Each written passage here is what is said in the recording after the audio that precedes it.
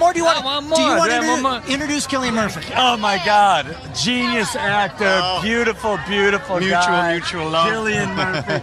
What We an were actor. both- we were both just saying that it is time that we're actually enjoying this. Yeah, we're, I think we're, we're getting used to it. Yeah. I certainly am. Yeah, me Yeah. too. Go ahead, get in there. Thanks, Do your man. thing. Thanks. See you later, Mark. Well, that was a good setup.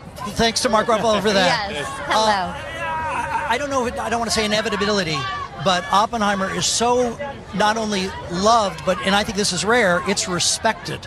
Good. Yeah. It feels like that, you know, that we, we, we're uh, all a little overwhelmed by the response. It's been extraordinary, you know, uh, commercially and critically, and people going to see the film multiple times. So, yeah, we're, we're so, so proud.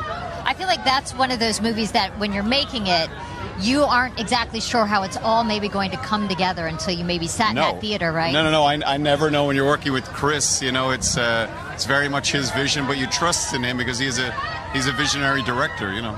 And the eyes, the eyes played a big part in Oppenheimer, Well, thank you. and it kind of cut through so much of the dialogue when they had that close up on your eyes, and he really intended to do that. Uh, He intended to use the close up uh, very that was deliberate, you know, and kind of use the face as a landscape. That was his choice, I think, in, the, in the way he shot it. Yeah. You had indicated, of course, that you had been in the Christopher Nolan sphere before. Yeah. the what I I would say, if I were to make a prediction tonight, I think he will very likely win for Best Director. What does he know that other directors don't know?